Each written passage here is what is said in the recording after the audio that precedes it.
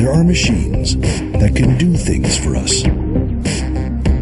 Machines that can make things for us.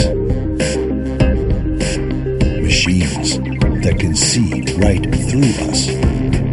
And machines that want to be us. Want to replace us. But they are not us. There is one machine that makes us greater. A machine so instinctive, so seductive. It's as alive as we are. It doesn't click or buzz.